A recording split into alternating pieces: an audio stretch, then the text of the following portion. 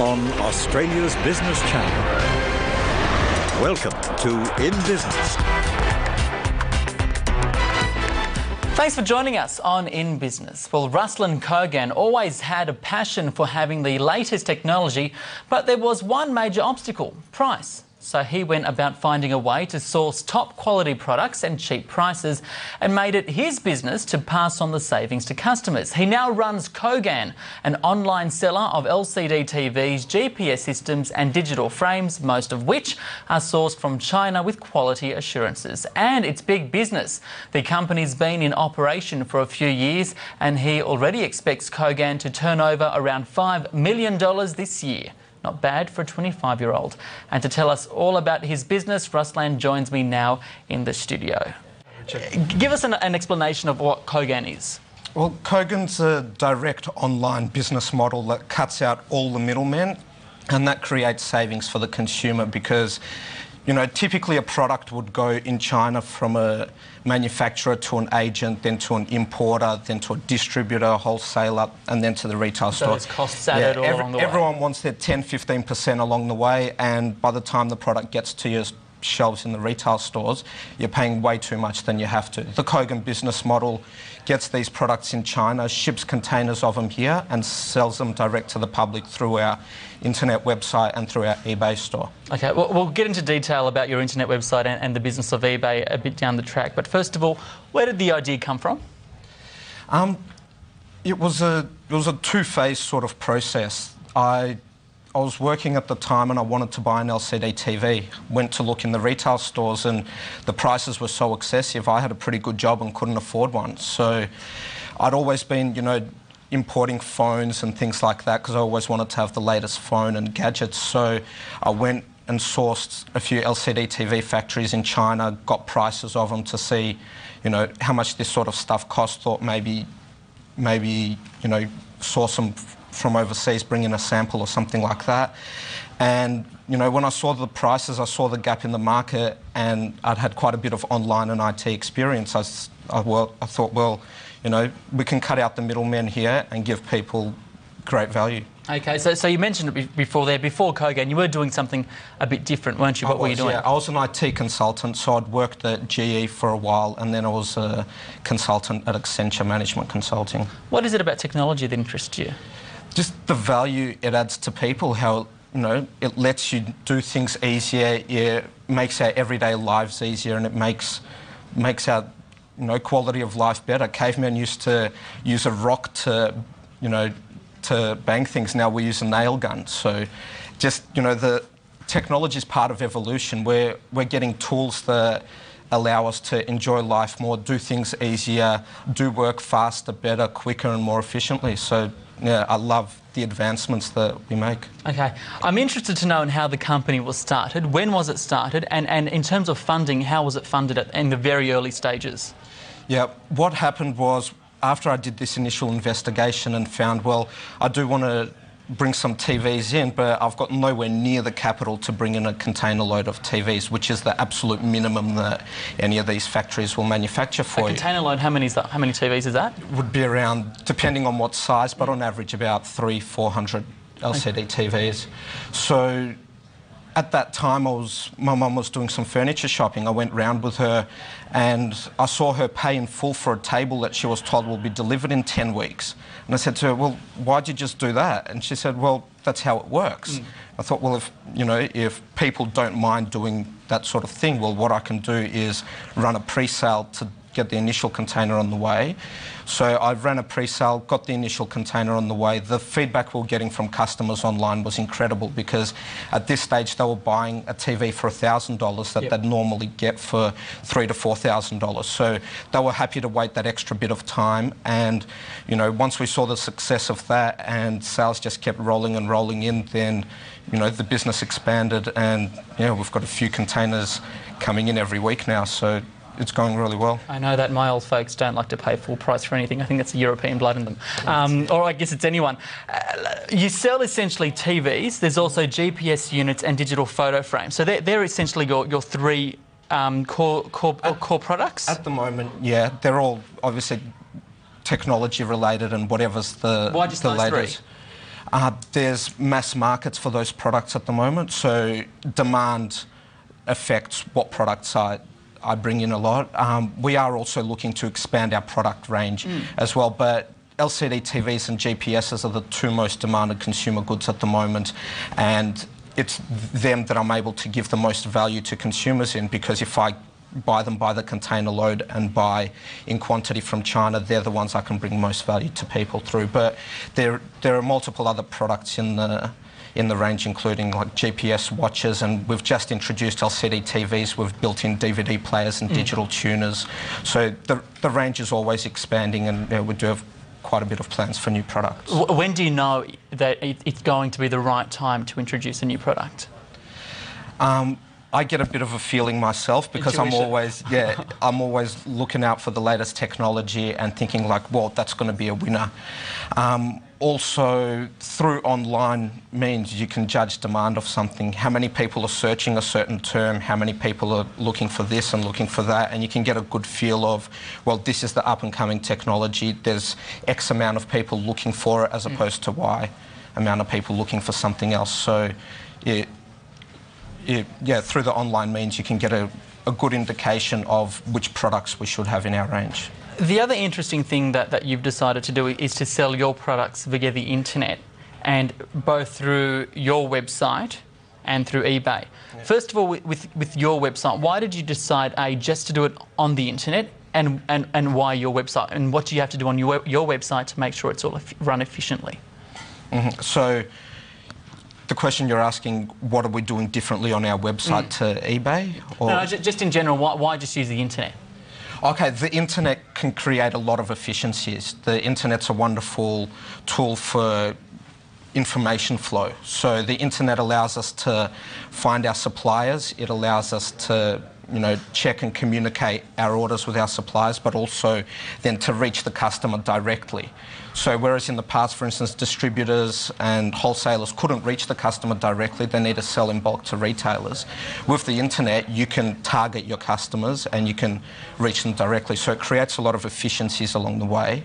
And yeah, the internet's the most cost-effective way of reaching your customers, and it's also the most cost-effective way for educated consumers like Kogan customers to, you know, target their search and say this is exactly what I'm looking for, and then find it on the net, not have to spend any money on driving around or petrol or parking or all the other headaches we associate with retail shopping. And, like I mentioned, you've got your Kogan website, and then you use eBay. Why why do you need both of them? Why not just use Kogan or just use eBay? Okay, eBay is the world's biggest marketplace, so it can't be ignored. Uh, there's thousands of customers every day looking at our eBay store.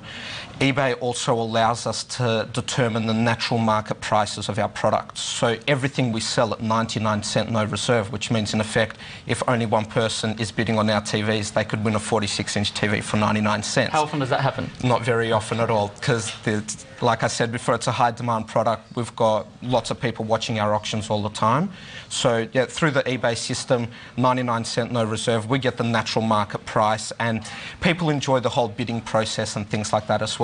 Then it comes to our website, which is more of a click, click, buy sort of thing where you get a lot more corporates, people that don't have the time to participate in an auction or don't don't like using eBay or don't want to go through the whole online auction process and just want to click buy and put in their credit card details, we've got that option available to them as well. And just and very quickly, as a business, how, how much does it cost you to run um, a, a selling business, I guess, on eBay? It's it, it's all relative to how many sales you make. eBay makes a percentage of of all your sales, but if you streamline your processes and get an eBay store running efficiently, there's there's a really good opportunity to do some business and cut out all the middlemen and provide your customers with unbelievable value. What makes Kogan products so different? And let's say uh, for, for LCD TVs then. Okay, the main difference comes in the business model that gets the product to your door.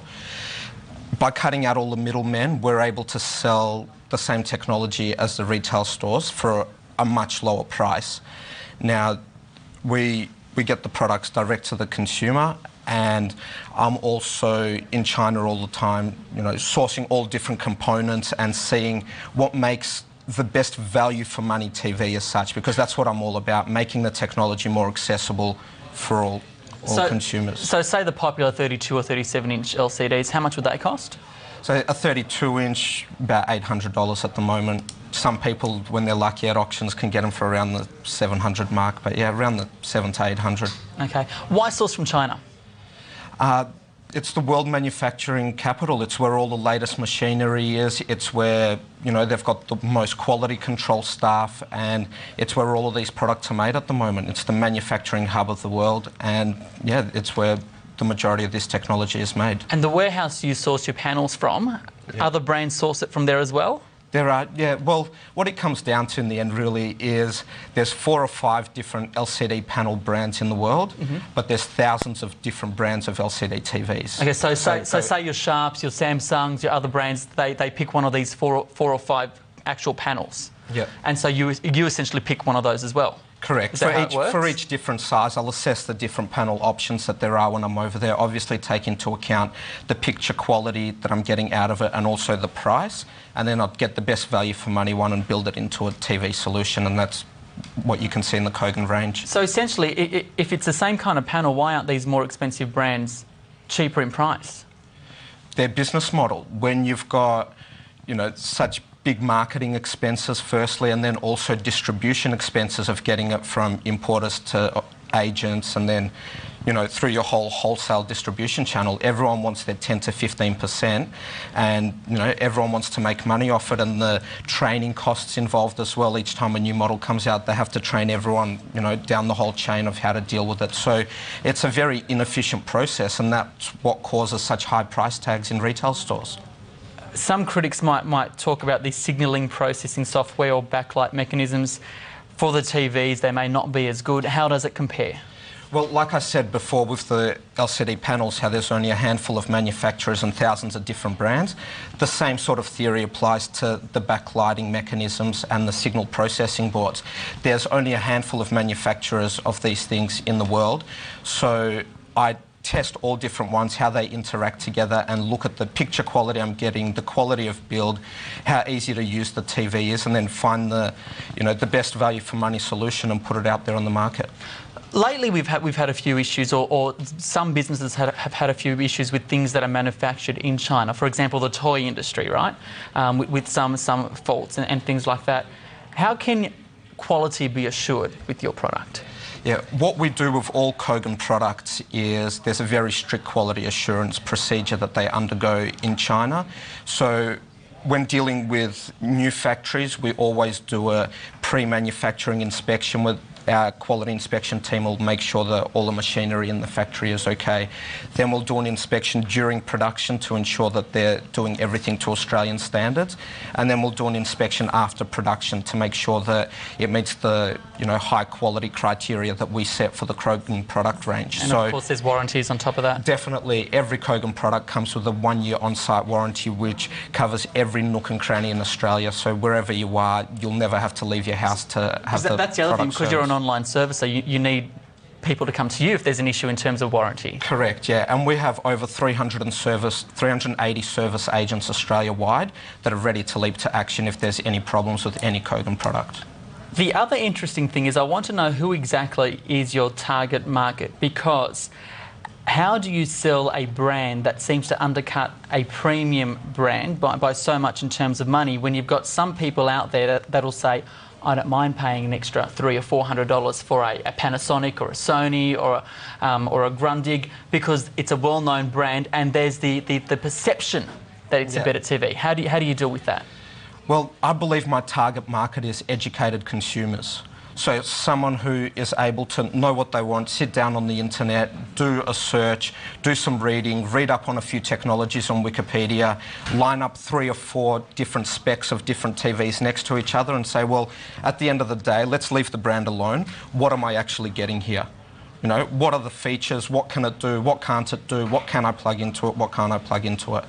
And those educated consumers that do that, majority of them will buy Kogan because once they line our specs up against anything else out there in the retail stores, they'll see that in terms of value for money, this is the best solution. In terms of expansion plans, are there plans to, to go to, to physical retail stores or, or will it purely remain an online store? It will remain online. If I went to retail, I wouldn't be able to provide the same sort of value that I am at the moment. There'd be extra costs involved in the model and I wouldn't be, you know, true to my word of making technology more affordable for all Australians. And, and at the moment, is it just Australia, or are you looking to, to, to move internationally? Today it's just Australia. By the end of March, we will have expanded our operations into New Zealand, and then we're getting, you know, really strong results and really good feedback from customers at the moment, and getting a lot of repeat business and a lot of word of mouth um, advertising from our own customers. So from the feedback, we're definitely looking at expanding overseas and targeting more overseas markets. So that move into New Zealand, when did you decide, hey, let's move into New Zealand, it's a good time to do it? And, and what kind of research did, did you do to, feel, to figure out whether New Zealand wanted Kogan in, in, as a brand there? Yeah, um, happened about six months ago. Well, we thought, well, you know, there's such good demand over here. They're a close neighbour. They should be very similar to us we looked into it, obviously look into the population spreads where you're going to put warehouses and also they have several trading websites like eBay in New Zealand. They use eBay but they use another one as well.